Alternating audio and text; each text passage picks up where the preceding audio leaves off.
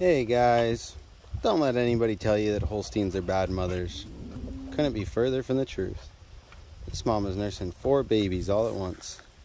Some of them are already pretty big too. Good job, Mama Lakshmi.